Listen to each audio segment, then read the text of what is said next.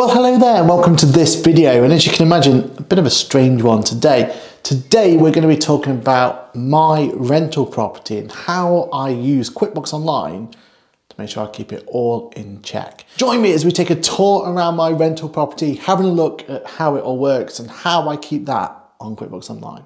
Stay tuned.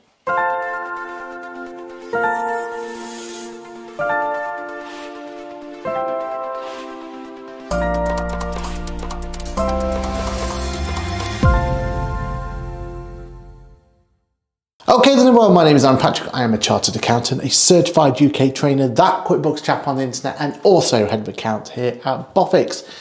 Now today we're going to be looking at my rental property and trying to figure out exactly how we convert this that we see and we're going to have a look at today into what is basically QuickBooks Online. Now the idea of putting your rental property into QuickBooks is going to become something very, very important very soon.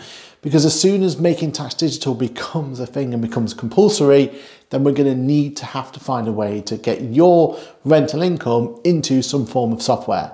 And to my mind, QuickBooks Online is the best solution out there. So let's take you along with us and let's actually go and find out what's in this rental property. Okay then, so you guys are currently at the front door. If I was to look behind the front door though, you'll see that we have a nice little layout of the bottom floor. Now this is a three bedroom, three story townhouse.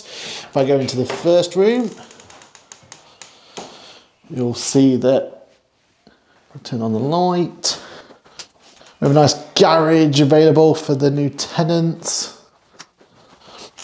And importantly, a connecting door as well, which actually I found when I was living here to be a massive, massive benefit.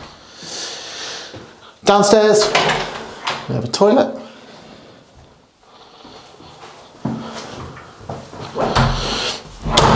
And then through this door is the kitchen.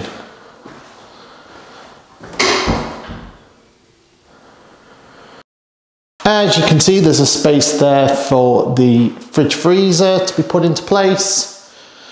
Space for dishwasher and space for a washing machine as well. Plenty of cupboard storage for them all and a nice little oven to go with it. Outside here, I'm not going to take you into the garden itself, but you can see there's a nice little garden area.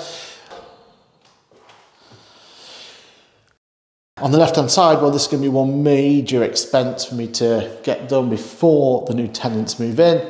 So I need to be recording the fact that we're having that completely replaced. Um, we want to be making sure we do that correctly.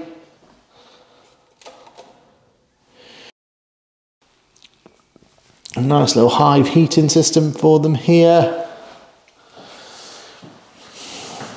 Let's have a look at upstairs.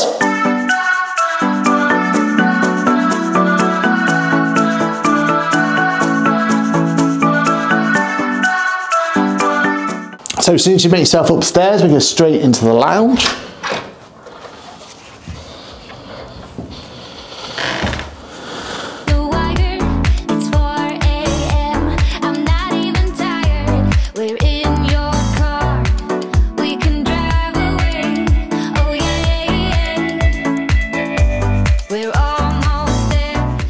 This Juliet style balcony as well. Look out into your nice garden.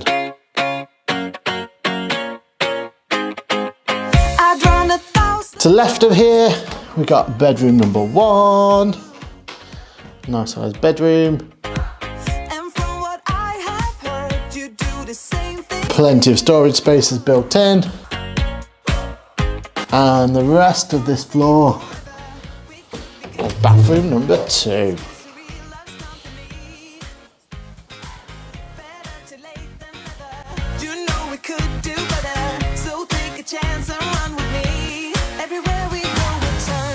Then we take you up to the rest of the stairs. Remember, three story this one.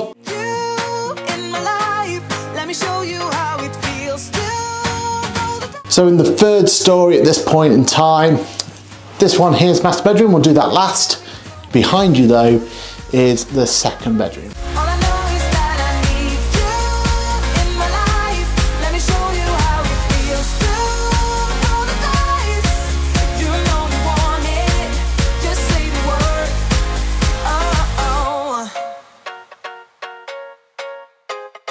Loft space above, We've got plenty of loft items up there. Cheeky way to be able to keep hold of some of the stuff you want to keep hold. Stick it into your loft. Boiler. And then in here, we have the main bathroom, full size bath, shower, toilet, and then some on here. Cheeky little mirror as well.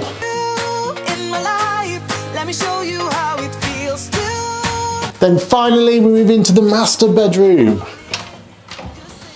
So master bedroom wise, we've still got to do the carpets, get them cleaned and tidied.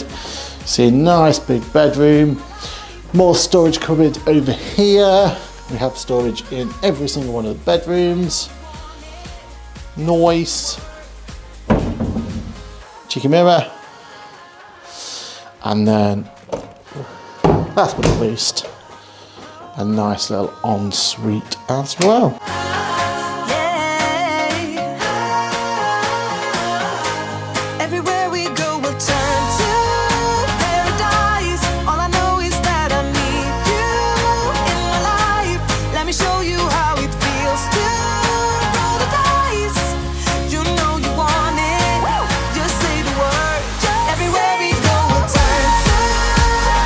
So there we have it, a nice little tour of the rental property. Now let's take you back to the studio where we figure out how we're gonna convert this into something that QuickBooks Online can help us out with.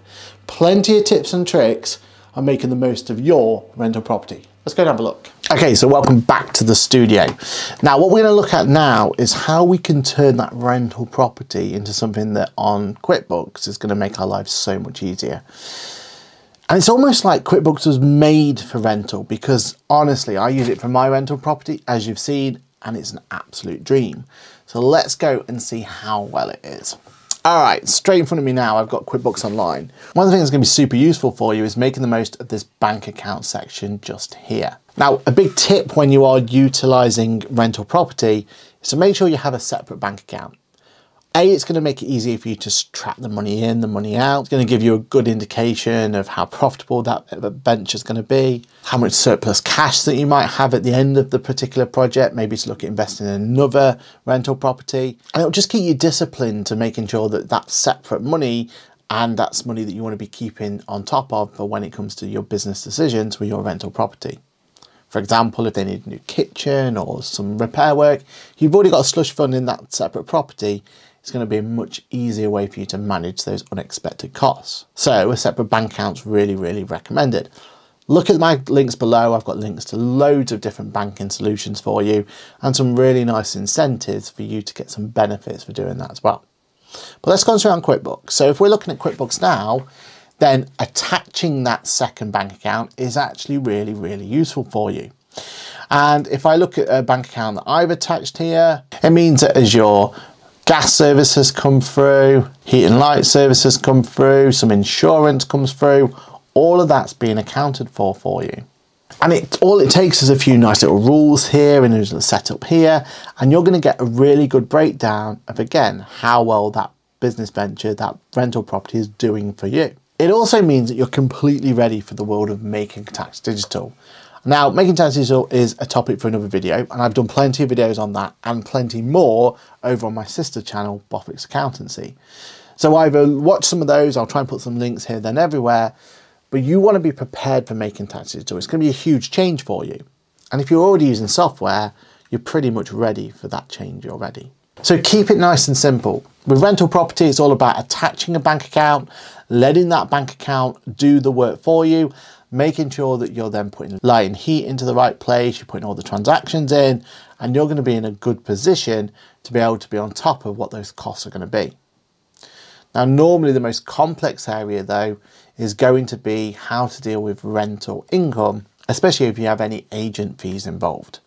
Now, this is for those people out there who aren't renting them out completely by themselves and you're utilising a letting agent to do some of that work. Now they may take a very small fee just for actually getting that tenant in there in the first place. Or they may be charging you even more if they're going to be helping you get the renovation of the place. They're going to make sure that all the questions and all the issues from the tenant go straight to them. Then if that's the case, they're going to have significantly more expenses and significantly more costs involved there as well. But either way, most of the time that this will happen is they will pay you the net figure from the tenant of all the fees that they've included. And you need to be making sure that you account for them correctly. Because at that top figure, the income that you've received for that should be the rent that was agreed. So as an example, if it was £750 that you had shown there at the top, you then need to show any expenses against it even if you've only received, say, £700 into your bank account. 750 has to be the income figure we show, and then we really want to be showing those other expenses separately to keep things nice, neat and tidy. So in QuickBooks, there's a clever way for us to do that. As an example, let's look at this £579. Let's assume that it was £600 of rent and then I had some fees of £21 I need to account for. How do I do that? Well, the simplest way is to click into the transaction and use the split option just here. Now that I've got the split option up in, up in play, I can say that my category was rental income.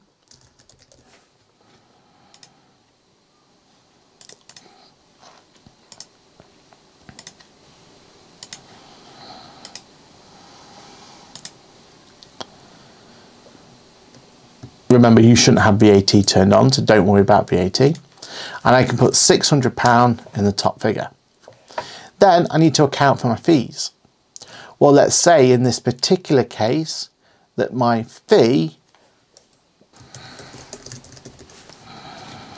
my agent fees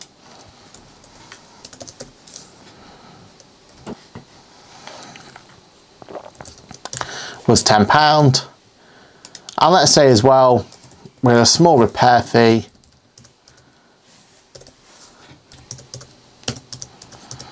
that one was £11. So my gross fee at the top, the amount of money that I received my rental income in this case was £600. And then my £10 fee, my £11 fee, and I'm slowly but surely putting those figures into place. Now, what I would also advise everyone does is use the add attachment option just here. And with that add attachment option, you're going to be able to go in and be able to put in your rental statement that you should receive each and every month.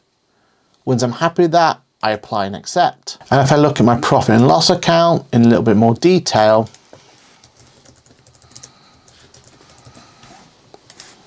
you'll see my profit and loss account shows it in more detail. There's my rental income, £600, the gross amount I wanted to show. There's my agent fee of £10 and my repairs and maintenance of 11 giving me that 579 that hit my bank account. But if I had shown that as just income, I'd be understating how much income I had received. And the features don't just stop there. QuickBooks also gives us great options with our mobile phone. You see, we can jump into QuickBooks, we can even get to the point where we just take photos of any expenses we need to worry about. So if you've just had to nip down to the local shop to buy maybe a new key or you've had to have a key cut, whatever it's going to be, then grab your phone, take a photo of that receipt. You're not going to miss out on that juicy repairs and maintenance cost. You can also track mileage as well. So as you go to and from your rental property, you can make sure that it's recording that mileage for you, completely automatic, and you can run reports to understand exactly how profitable that project is for you.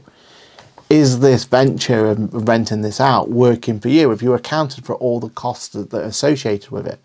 Well, having QuickBooks is going to give you the ultimate chance to keep an eye on that and means you can access that data wherever you need to, to access it.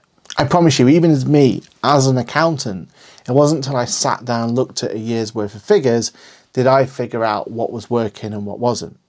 And that's the decision then that I can make onto my next rental property. And I can keep using that experience, using that knowledge, using the numbers I have available to make those crucial decisions. And with QuickBooks, you can make the same decisions. And there we have it, a look into why QuickBooks Online and rental property is a match made in heaven. Again, for my rental property, it's been an absolute lifesaver. I want to make sure it's right for you as well. Let me know in the comments below, is there any other things you need to go through to be able to make QuickBooks work for you? Do you need me to go in a much deeper dive into my own rental property, my own rental accounts, and let you know how to move the rental account side over to your tax return. Keep an eye on this channel because we're going to be ready and waiting for MTD. And making tax digital is going to be a huge point in why QuickBooks is going to be a great time and also compliance part for you, for you going forward with your rental property. My name's been Aaron Patrick. This video has been an absolute pleasure to do for you.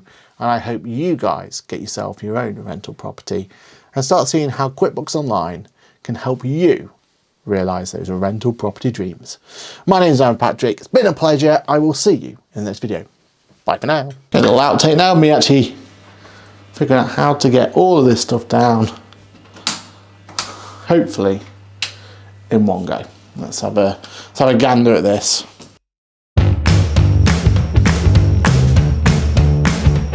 Shall we switch off all the lights? Another final look at front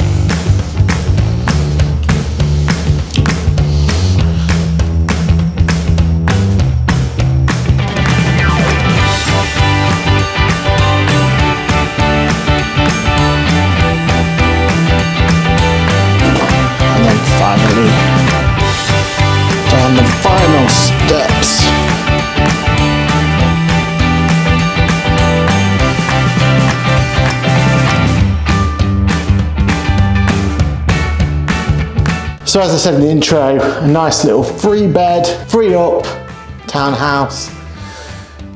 Relatively big, definitely room for a family, so definitely got everything that, that people would normally need. And yeah, pretty much everything we need from a rental property. Very low maintenance, which has been great. A couple of issues here and there. Kitchen itself probably does need a makeover at some point. That's definitely on the cards.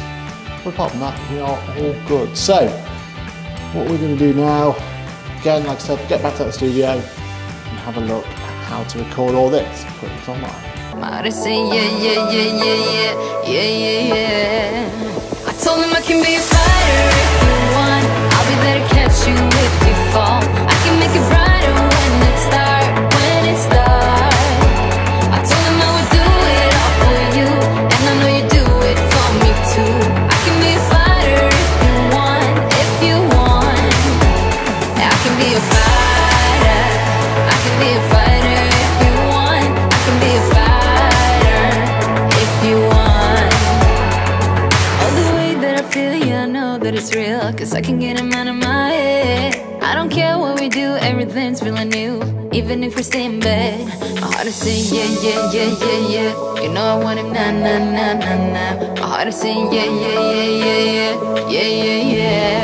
Hello and thank you for watching that video. What you may not know is this channel that you've watched this video from is part of a wider group. That wider group is called Apple Core Production and the three channels that we have involved are as follows. Aaron Patrick the QuickBooks Chap, Boffix Tax Tip. Finally, we have Apple Core Live and Geeky. All the links and everything are down below in the description, but it really mean a lot to us if you can go and give a like to the other channels as well.